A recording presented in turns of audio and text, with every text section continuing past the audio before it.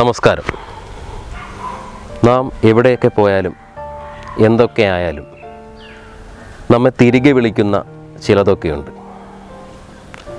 പൊക്കിൾക്കൊടി ബന്ധം പോലെ അതങ്ങനെ ചുറ്റിപ്പിണഞ്ഞ് കിടക്കും. പറഞ്ഞു വരുന്നത് നാം ഓരോരുത്തരും ജനിച്ചു വളർന്ന നമ്മുടെ സ്വന്തം നാടിനെ പറ്റിയാണ്.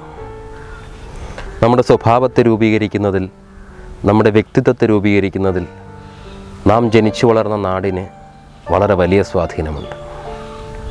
പിറന്ന നാട് പെറ്റമ്മയേക്കാൾ മഹത്തരം എന്നാണല്ലോ. ഈ കായലിന് മുന്നിൽ നിന്നല്ലാതെ എനിക്കെന്റെ നാടിനെ പറ്റി പറഞ്ഞു തുടങ്ങാൻ കഴിയുകയില്ല. അഷ്ടമുടി തന്റെ എട്ട് മുടികളെ കോർത്തു കെട്ടിയപ്പോൾ അതിലൊന്നായി ചേർത്തത് ഞങ്ങളുടെ ഈ കായലിനെയാണ്.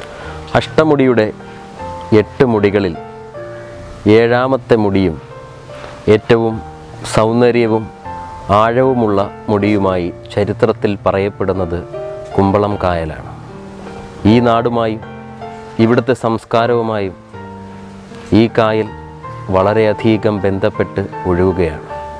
ഉപേക്ഷിക്കപ്പെട്ട അനാഥയാക്കപ്പെട്ട ഒരു പെണ്ണിനെ പോലെയാണെങ്കിലും ഭൂതകാലത്തിന്റെ ഒരിക്കലും വറ്റാത്ത ഓർമ്മകൾ ഈ കായലോരങ്ങൾ ഈ നാടിന് സമ്മാനിച്ചിട്ടുണ്ട്.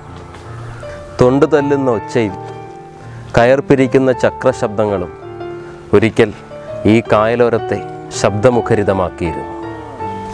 വലയും വള്ളവുമായി കായലിലേക്ക് പോയി അന്നവും ജീവിതവും കോരിയെടുത്ത മത്സ്യത്തൊഴിലാളികളുടെ വിയർപ്പ് ഈ കായലോരങ്ങളിൽ ഇപ്പോഴും ഇറ്റുകിടപ്പുണ്ട്.